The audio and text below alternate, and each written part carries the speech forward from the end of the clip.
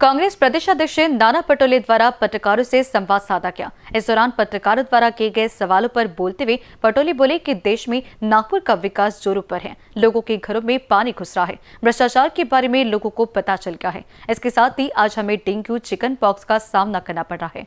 इसमें जो जनता एवं प्रशासन को जोड़ने वाला दुआ था, जिसे हटा दिया गया है।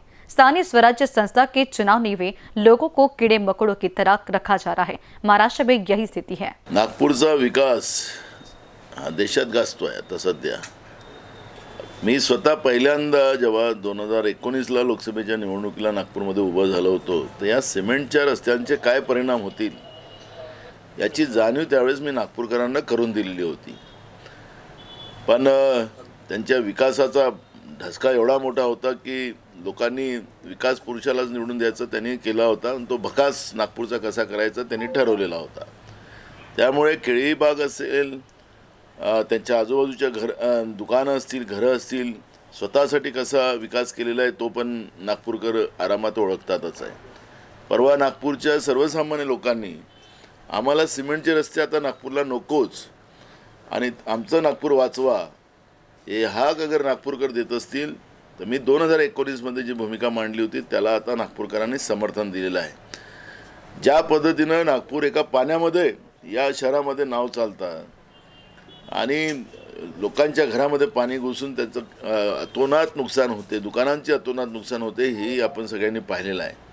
हे नागपूरमध्ये कधीही नव्हे पण विकासाच्या नावाने झालेला भ्रष्टाचार हा याच्यातून आता पाहायला मिळत आहे नागपूरसारखं शहर एक ग्रीन सिटी म्हणून आमच्या जसं ऑरेंज सिटी म्हणून आमच्या नागपूरची ओळख आहे तशीच ग्रीन सिटी म्हणून आमच्या नागपूरचा गौरव अनेकदा झालेला आहे.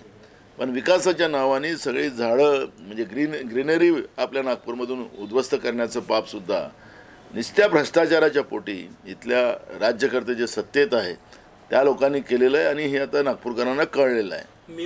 आणि त्याचेच परिणाम त्याचेच परिणाम आज त्या घाणीच्या साम्राज्यामुळे आज मोठ्या प्रमाणात डेंगू चिकनगुनिया या सगळ्या आजाराला नागपूरकरांना पुढं जावं लागतं आहे त्याच्यामध्ये अजून पुन्हा आहे की या भाजपच्या सत्तेने प्रशासक आणि सरकार आणि त्याच्यामधला महानगरपालिका नगरपालिका जिल्हा परिषदचा जो दुवा होता जनतेचा डायरेक्ट लोकप्रतिनिधी त्यांच्या संपर्कात राहायचे आणि तिथून विकासाची कामं व्हायची. पण गेल्या तीन वर्षामध्ये महाराष्ट्रामध्ये स्थानिक स्वराज्य संस्थांच्या निवडणुका या लोकांनी घेतल्या नाहीत. आणि त्याच्यामुळे सामान्य जनतेचा जो कररूपी पैसा जातो.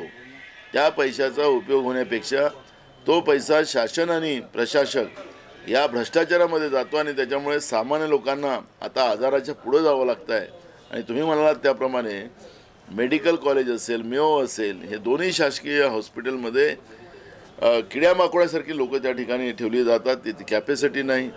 मोठ्या प्रमाणात त्याच्यावर भार आलेला आहे. त्यांच्याजवळ डॉक्टर्स नाहीत औषध नाहीत स्टाफ नाही. अशी परिस्थिती आज नागपूरमध्ये आहे. हे नुसतं नागपूरचंच जे लक्षण नाही. तर संपूर्ण महाराष्ट्रामध्ये आरोग्य विभागाचे व्यवस्थेचेही तीन तेरा वाजलेले आपण पाहतो आणि फक्त फक्त या भ्रष्टाचारासाठी जे प्रश प्रशासक आणि सरकार ही योजना जी सरकारने चालवली आणि स्थानिक स्वराज्य संस्था संपवल्यात त्याचा हा परिणाम सामान्य जनतेला महाराष्ट्रात भोगावा लागतो आहे